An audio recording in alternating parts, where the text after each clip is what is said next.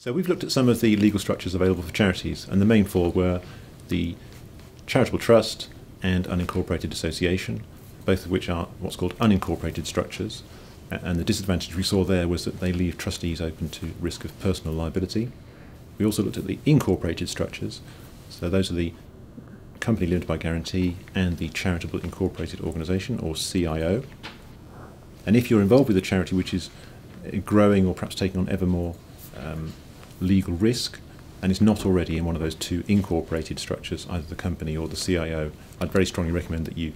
change the structure to move into one of those incorporated structures where the trustees will be much better protected against the risk of personal liability.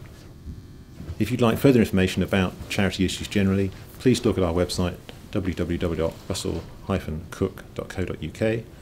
And on the screen, you'll also see uh, a link where you can sign up for our regular email update on issues for charities and social businesses.